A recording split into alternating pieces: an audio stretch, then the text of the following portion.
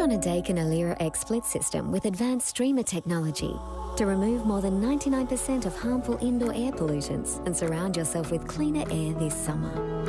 Daikin, perfecting the air. Weather now, and it was a calm night in the state with temperatures generally around the July average. Got down to as low as minus five at Mount Hotham. This stayed calm through the day, some isolated showers on the ranges, but it was mostly sunny elsewhere. Maximums were typically 2 to 4 degrees above average in the west, closer to average elsewhere. 19 was the state's high recorded in Mildura, Lakes Entrance, and Orbost. In Melbourne, the city peaked at a sunny 14.5 degrees just after 1 o'clock in the afternoon. Across the capitals today, Perth and Sydney saw some clearing showers, and it was mostly sunny over Adelaide, Hobart, Brisbane, and Darwin.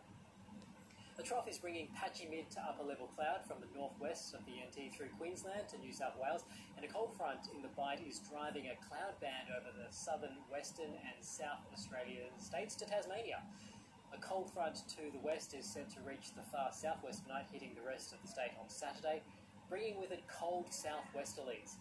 And those cold winds will bring showers over Tasmania, Victoria, and southeastern parts of New South Wales and South Australia and a cold front over southwest WA will bring gusty showers. The capitals, showers over Sydney, a shower or two in Hobart, showers easing in Adelaide, partly cloudy in Darwin, and mostly sunny in Perth and Brisbane. Back home, and Saturday will be wet. There'll be isolated storms paired with cloud over parts of the state, with widespread showers in the southwest to extend into southern and mountain districts during the early afternoon. A high of 11 in Bendigo, the same in Hamilton. There's a chance of hail near and south of the ranges during the afternoon and evening. Snowfalls above 1400 metres, lowering to 600 metres from the west during the afternoon and evening. 15 in Shepparton and 17 in Benson. On the bays, northerlies 15 to 25 knots will reach up to 30 early in the morning. Winds back to 15 to 20 knots, turning westerly in the middle of the day. Waves between 1 and 2 metres, decreasing below 1 after there's a strong wind warning for the Port Phillip, Western Port, West Coast, Central Coast, and Central Gippsland coast districts. A frost warning for East Gippsland and a warning to sheep graziers in the northeast, central, west, and south Gippsland, as well as East Gippsland districts. Now, going to tomorrow in Melbourne, and there will be showers up to 10 millimetres set to fall, and possible small hail in the afternoon as well, and into the evening.